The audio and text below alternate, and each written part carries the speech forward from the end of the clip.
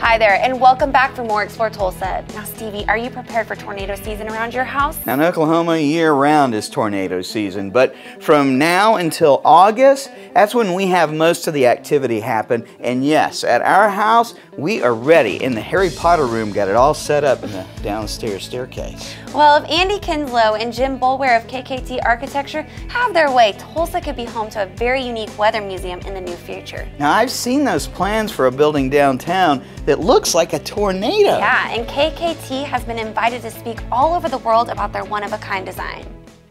I decided to be an architect in the third grade uh, when my parents built their house, and so everything I did from that point forward was all aimed at becoming an architect. I knew when I was in the sixth grade I was going to go to the University of Arkansas and major in architecture, and so I had great teachers through uh, junior high and high school that helped me focus on that goal. It's been fascinating. My parents love to come to town, and I get to drive them around and show them things that we're working on. It has been over 25 years, so there's a lot of things that we've we've worked on. We uh, for the first 10 years of the, of the business, it was only corporate interior planning work. So we've designed 75 law firms and lots of oil and gas companies, and we've worked with a number of those companies for years and years and years. And so it's been in the last 15 years that we've actually been designing buildings from the ground up. There was no client on this project. It was something that Tulsa People magazine asked us to do. So we were able to do whatever we wanted to in re-envisioning a building downtown that needed, uh, needed to be, needed a facelift. And so Jim was the creative talent behind, behind that. It was Christmas Day two, two years ago. And, uh, and, and I remember I, I, we'd open presents and I, I sat down and I just started doodling and, and uh, he came to me and I showed my wife and my daughter and they were like, no, don't do that.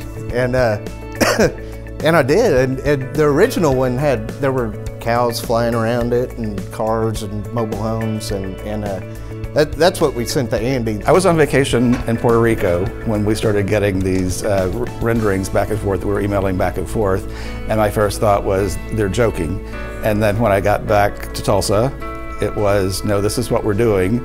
The design started out with with a revolving restaurant.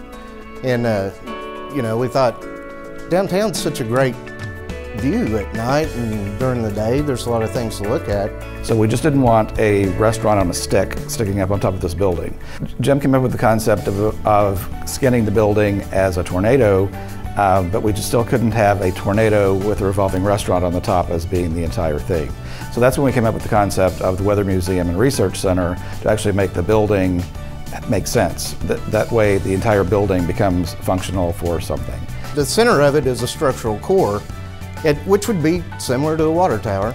Uh, and then the, the floors would cantilever off from that. But, you know, there's a there's going to be an elevator and, and restrooms in that core. It's going to be pretty big. When we designed it, it was on a quarter of a block on the site that we were given for our project. But depending on where it goes, it could actually be bigger or smaller, or wider or taller, depending on the site that it actually ends up in. If it were a hotel, it wouldn't work. It needs to be this research center and, and museum to be able to make sense. It was something that we just thought would be, you know, in the magazine, that would be it.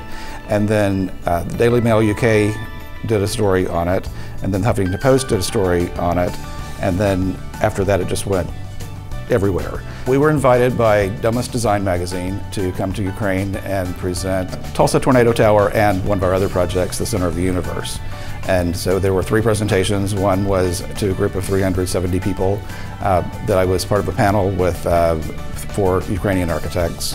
One was to a university, spoke to 170 students, and then a third presentation um, at Zala, which was 150 invited architects and designers. It was fascinating uh, how how interested they were in the detail and what's involved in the process of building things here. So there were um, lots of young architects that were there that were very excited to see something different. Uh, that gave them inspiration of that, yes, you can do something that's unusual and get attention. You know, there's really not much more to the design than that, and people kind of see what they want to see in it.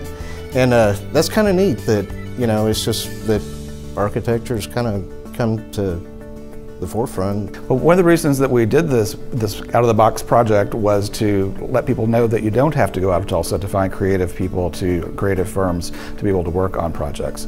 That uh, it's the talent is right here in Tulsa, and if you just have the budgets and the projects for it, that people can come up with really creative concepts and ideas.